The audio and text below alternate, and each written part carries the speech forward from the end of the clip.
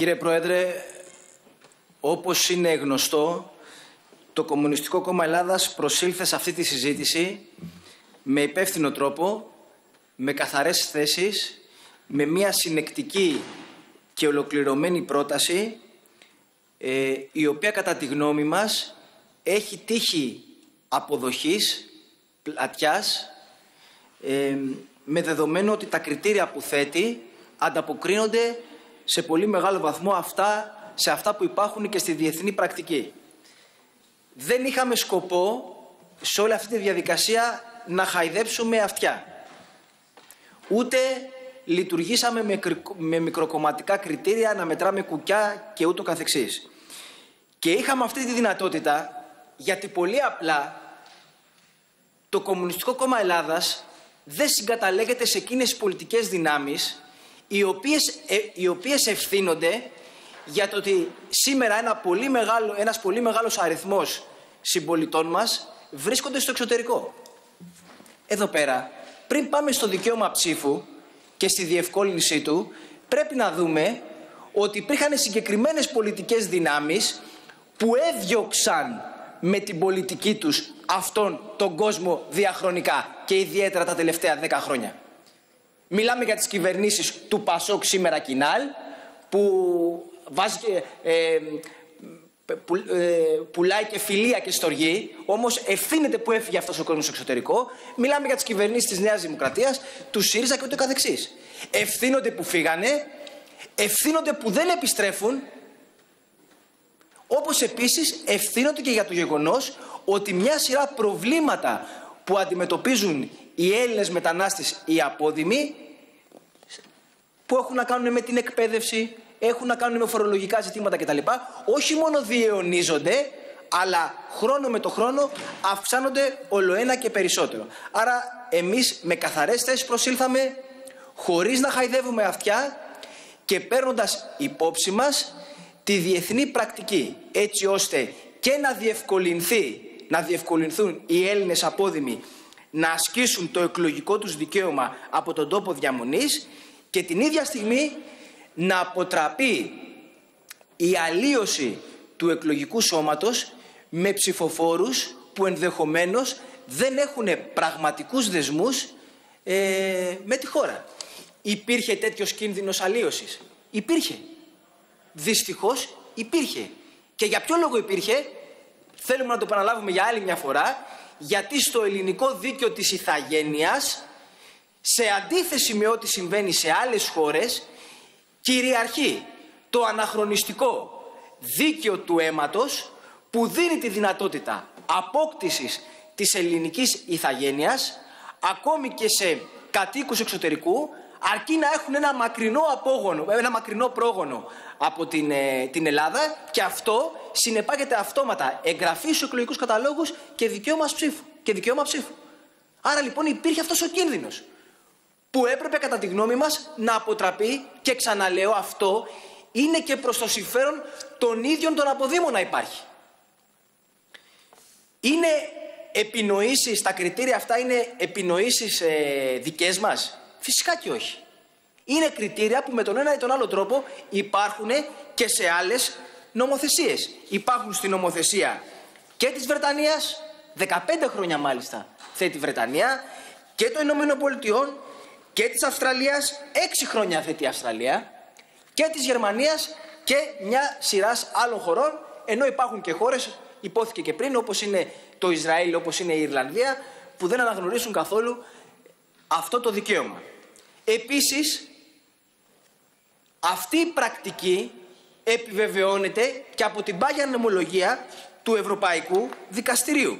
Απόφαση Χέρστ κατά Ηνωμένου Βασιλείου. Το δικαστήριο αναγνώρισε ότι τα εκλογικά δικαιώματα μπορούν να περιορίζονται ανά ομάδες ή κατηγορίες υπό την προϋπόθεση ότι οι προβλεπόμενοι περιορισμοί επιδιώκουν νόμιμο σκοπό. Απόφαση Μελιτσέγκο. Η δυνατότητα αποκλεισμού όσων δεν κατοικούν στο κράτος δικαιολογείται για λόγους όπως για παράδειγμα το γεγονός ότι ένας υπήκος που δεν κατοικεί εντός του κράτους δεν θίγεται άμεσα από τις πράξεις των πολιτικών οργάνων.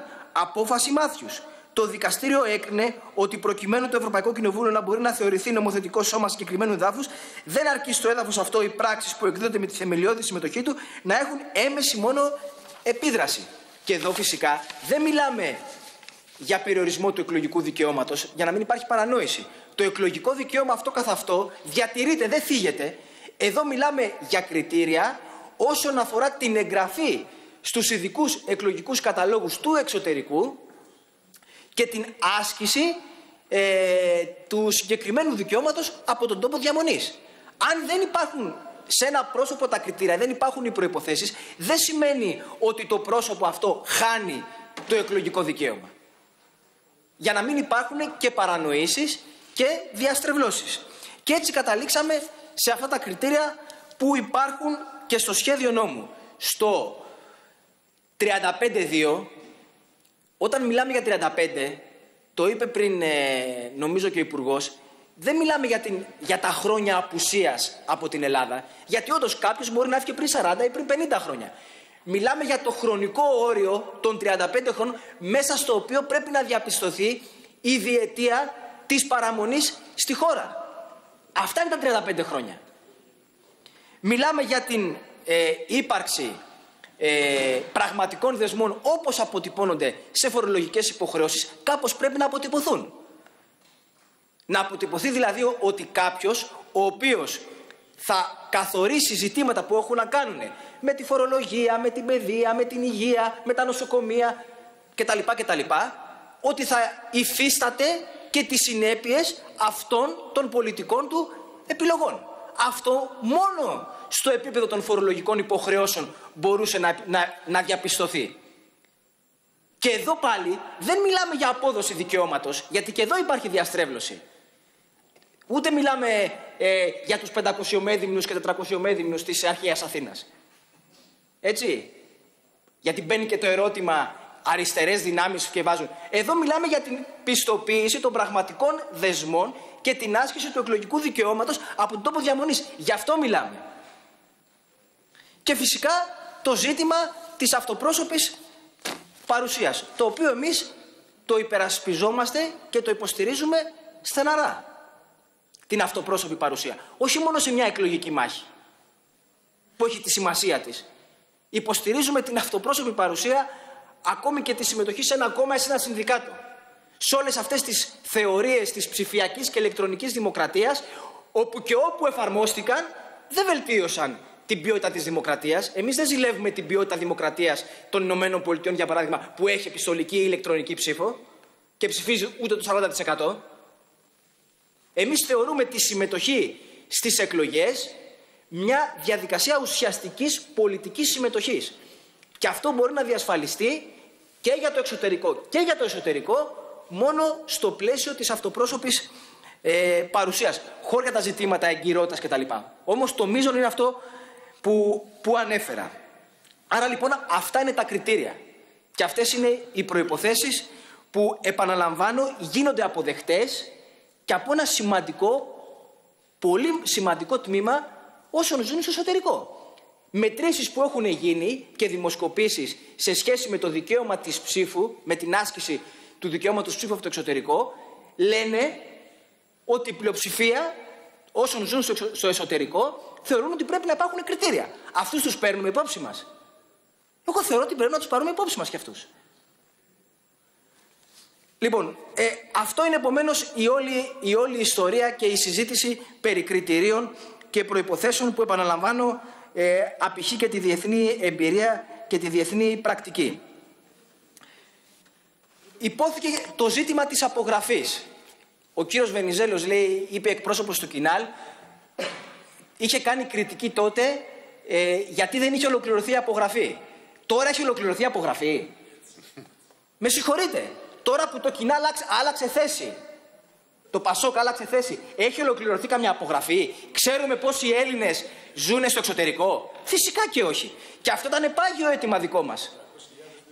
Ήταν πάγιο αίτημα δικό μας. Σε όλες τις επιτροπές που συγκροτούνταν για αυτό το σκοπό λέγαμε ότι επιτέλους πρέπει να υπάρχει μια απογραφή που να λέει τόσοι Έλληνες υπάρχουν στο εξωτερικό και έφυγαν τότε. Αυτό δεν έγινε από καμιά κυβέρνηση. Και αυτός ήταν ο λόγος που δεν μπορούσε να εφαρμοστεί, να πιστοποιηθεί το κριτήριο των 30 ετών. Δεν μπορούσαμε δηλαδή να πιστοποιήσουμε την ε, απουσία από τη χώρα για 30 έτη και γι' αυτό το λόγο αντιστρέψαμε την πιστοποίηση και αντί για την απουσία 30 ετών βάλαμε την παρουσία 2 ετών τα τελευταία 35 χρόνια γιατί πρέπει να πας και λίγο πιο πίσω. Δεν είναι αυθαίρετα επομένως όλα αυτά, έτσι όπως παρουσιάζονται από ορισμένους. Λοιπόν, ε, σε σχέση με το, με το σχέδιο νόμου, εμείς θεωρούμε ότι σε γενικές γραμμές αυτά τα, καλή, τα κριτήρια καλύπτονται. Θεωρούμε θετικές τις ε, νομοτεχνικές βελτιώσεις που έγιναν από το Υπουργείο Εσωτερικών και έχουν, ε, και έχουν μοιραστεί. Θεωρούμε ότι πρέπει να υπάρχουν κάποιες περαιτέρω βελτιώσεις. Για παράδειγμα, το ζήτημα της, ε, των υπουργικών αποφάσεων που πρέπει να έχουν τη σύμφωνη γνώμη ε, ενός αριθμού δύο τρίτων επιτροπής της Βουλής και το λέμε αυτό για ποιο λόγο. Μιλάμε για μια τελείως καινούρια διαδικασία για την οποία δεν υπάρχει καμία εμπειρία ούτε μπορούν να προβλεφθούν εξ αρχής και εκ των προτέρων τεχνικά ζητήματα που μπορεί να προκύψουν. Το, το σχέδιο νόμου προβλέπει ορισμένες υπουργικές αποφάσεις, όμως θεωρούμε ότι θα προκύψει ανάγκη και για περαιτέρω υπουργικές αποφάσεις. Γιατί είναι τελείως καινούργια διαδικασία. Δεν ξέρουμε τι θα συναντήσουμε. Είναι αχαρτογράφητα νερά. Συνεπώς, υπάρχει ανάγκη για να μην δηλητηριάζεται και το όλο κλίμα και η όλη διαδικασία, οι αποφάσεις οι οποίες θα χρειαστεί να εκδοθούν να έχουν την αυξημένη πλειοψηφία μιας επιτροπής, μιας επιτροπής της Βουλής, μπορεί να είναι η Επιτροπή ε, Απόδημου Ελληνισμού, ε, για να τηρείται και η συνταγματική επιταγή των ε, δύο τρίτων. Και όσον αφορά την επικαιροποίηση, θεωρούμε ότι πρέπει να προσθεθεί ότι μετά την παρέλευση του χρόνου επικαιροποίησης, μπορεί να είναι και μικρότερος ο χρόνος, δεν έχουμε καμία αντίρρηση σε αυτό, πρέπει να επαναληφθεί η διαδικασία από τη στιγμή που ολοκληρωθεί η δεκαετία και μπαίνουμε σε, ε, σε, στη διαδικασία επικαιροποίησης για τον καθένα ε, ξεχωριστά. Άρα λοιπόν θεωρούμε ότι ε, το νομοσχέδιο θετικά, θετικά ε, προσεγγίζουμε τα άρθρα ε, του νομοσχεδίου. Θεωρούμε ότι είναι σε σωστή κατεύθυνση νομοτεχνικές βελτιώσεις και κάποιες άλλες οι οποίες θεωρούμε ότι πρέπει να γίνουν μέχρι την Ολομέλεια. Όμως, καλό θα ήταν να όντως να συζητάμε με ειλικρίνεια. Να συζητάμε με ειλικρίνεια και να λέμε την αλήθεια και για τη στάση των πολιτικών δυνάμεων και όσον αφορά το τι συνιστούν οι προϋποθέσεις και τα κριτήρια ε, τα οποία τίθενται. Αυτό είναι το βασικό.